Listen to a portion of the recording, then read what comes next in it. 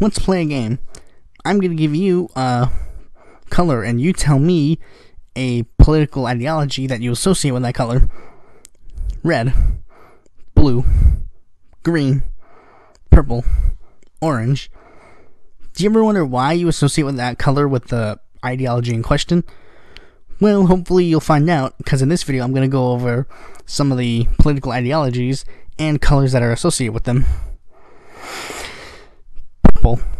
Historically, purple was commonly associated with monarchism due to the fact that purple fabric was rare and usually only available for the rich, such as monarchs. And more recently, it is associated with feminism due to the fact that it is associated as a girly color, and when combined with black, it means anarcho feminism, and it is the official color for the Veterans Party of America, and the customary color for the Constitution Party. Plus, it is also used to denote centrist and swing states due to the fact that it is a combination of red and blue. Buff. Buff is historically used to represent Whig parties worldwide in order to contrast with other political factions such as the British Whigs versus the British Tories. Pink. Pink is usually used for feminist or LGBT plus communities due to its long-standing association with the female gender and homosexuality.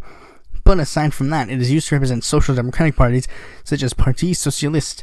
The color of social democracy is usually red, but if there is already a prominent party using the color, they use pink, as pink is a watered down version of red, as many people also believe that social democracy is a watered down version of socialism or communism.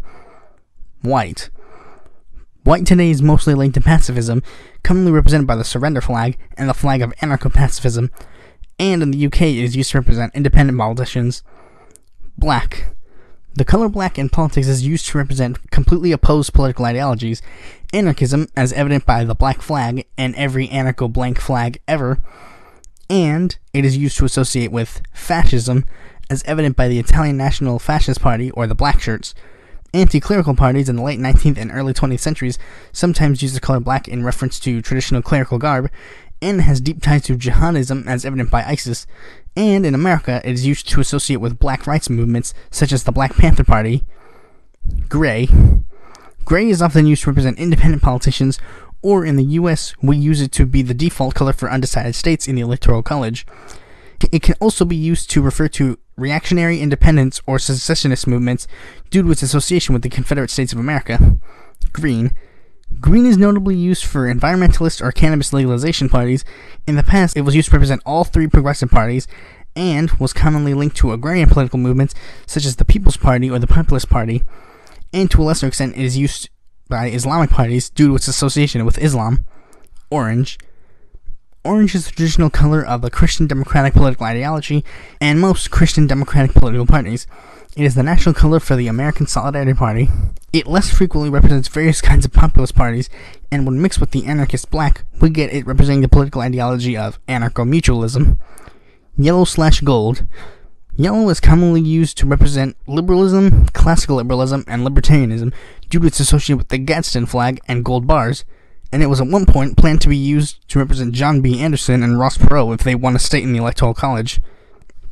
It is the national color for the Libertarian Party, the California National Party, the Alaskan Independence Party, and the UK political party, the Liberal Democrats.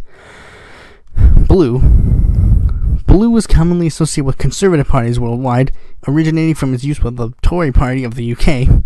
The biggest antithesis to this is the Democratic Party, which is a center to center left political party, although in America it is used for more organized labor due to the term blue collar worker. Other American parties that use blue or another version of blue, such as cyan or teal, are the Justice Party, the Working Families Party, the California National Party, and even the GOP of California. Red. Red is traditionally associated with socialism and communism.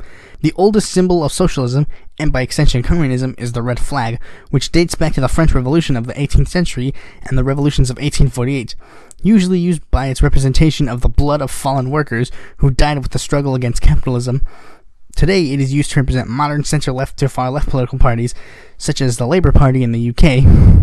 In America, is the national color for the Socialist Party of America, Democratic Socialists of America, the Communist Party USA, and the Republican Party.